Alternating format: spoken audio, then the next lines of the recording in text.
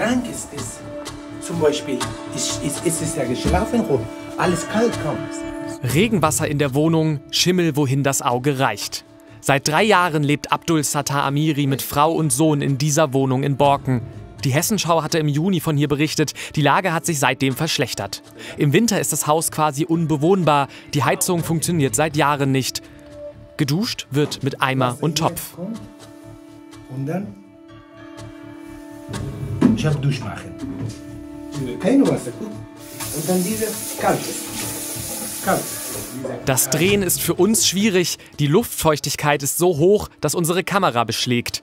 Ein Bewohner der Siedlung ist gelernter Schweißer. Er hat die Heizung immerhin in ein paar Häusern wieder zum Laufen gebracht. Der Zustand weiterhin gefährlich. Verantwortlich dafür die Atlanta Immo GmbH mit Sitz in Frankfurt.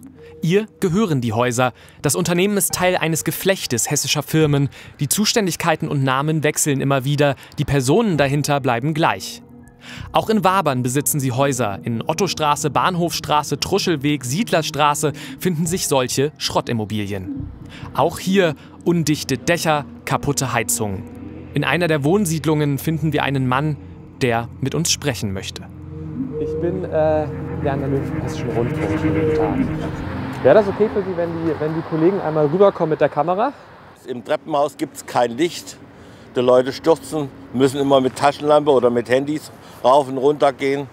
Und wir haben auch, auch äh, teilweise Schimmel in dem Haus. Und wir haben auch hier Familien drin mit kleinen Kindern. Die müssen das alles einatmen.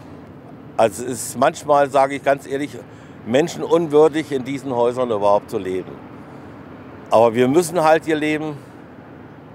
Und bleibt uns ja nichts anderes übrig. Es gibt ja nichts anderes. Angemessener Wohnraum, ein Menschenrecht. Die Vermieter kümmert das offenbar nicht. Unsere Recherche ergibt, das Geflecht aus Atlanta Immo GmbH und Plan B besitzt in Wabern laut Bürgermeister rund 85 Wohnungen. In Borken sollen es weitere 96 sein. Auch im bayerischen Wildflecken und im osthessischen Flieden vermieten die Firmen Immobilien. Ein Objekt in Offenbach und 13 in Bad Berleburg in NRW haben sie gerade wieder verkauft. Zwischen all diesen Immobilien gibt es einen Zusammenhang. Den Geschäftsführer der Betreiberfirmen Olaf Bote, sein ehemaliger Mitgeschäftsführer ist Dimitri Paarhofer. Der ist offiziell schon vor drei Jahren aus dem Geschäft ausgestiegen und lebt jetzt offenbar in Dubai. In seinen öffentlichen Instagram-Posts lässt er kleinwüchsige Menschen als Weihnachtselfen posieren. Darauf verlinkt seine Firma in Dubai. Die hat denselben Namen wie die Firma, die bis zuletzt Ansprechpartner für die Schrottimmobilien in Hessen war. Die Dubaier Firma vermarktet Luxusimmobilien. Der inzwischen hauptverantwortliche Olaf Bote ist quasi nie zu erreichen. Auch auf unsere Fragen reagiert er nicht. In Wabern sorgt die Funkstille für Unmut. Manche Mieter zahlen aus Protest schon länger keine Miete mehr. Wohnungen wie hier am Waberner Bahnhof müssen von der Gemeinde teilweise für unbewohnbar erklärt werden. Dem Bürgermeister sind sonst die Hände gebunden. Wir als Gemeinde können nur auf der Grundlage des Wohnungsaufsichtsgesetzes handeln. Wir können Sanierungen anordnen, wir können im Rahmen der Satzvornahme tätig werden, wir können Wohnungen für unbewohnbar erklären. Neben den baulichen Mängeln stehen die Gemeinden auch noch vor dem Problem nicht bezahlter Abgaben wie für Abwasser oder Grundsteuer.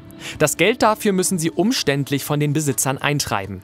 Gemeinsam mit der Stadt Borken hat Steinmetz deshalb einen Brief ans Wirtschaftsministerium geschrieben.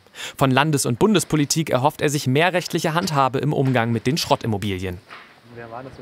Rolf Waldeck aus Borken will nicht auf die Politik warten. Jahrelang als Sozialarbeiter aktiv, koordiniert er nun die Mieter mit ihren rund 40 Einzelklagen.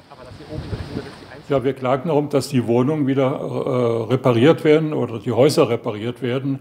Ich denke, es wird so weit kommen, das wäre so meine Idealvorstellung, dass wir dann die Zahlung der Mieten einstellen, dass wir ein Sonderkonto einrichten, wo die Mieten draufgezahlt werden und wir dann in einer Art Selbstverwaltung die ähm, Reparaturen durchführen können.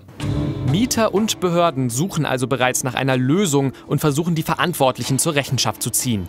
Der Sinn hinter deren dubiosen Geschäften mit Schrottimmobilien und wie die Besitzer davon profitieren, das bleibt aber erstmal ein Rätsel.